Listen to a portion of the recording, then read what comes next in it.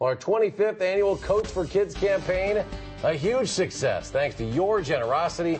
More than 10,000 coats were collected. Thank you, everybody. And 18 schools participated this year in our Collect a Coat contest. Today, it was time to celebrate and hand out the hardware.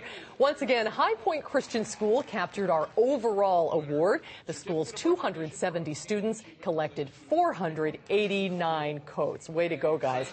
The students at Northside Elementary School in Sun Prairie received our Total, Co uh, Total Coats Runner-Up Award. The school's theme was Fill the Boat with Donated Coats. Students and faculty at Northside contributed over 400 coats to our campaign. Look at that little buddy. Yes, you're on television.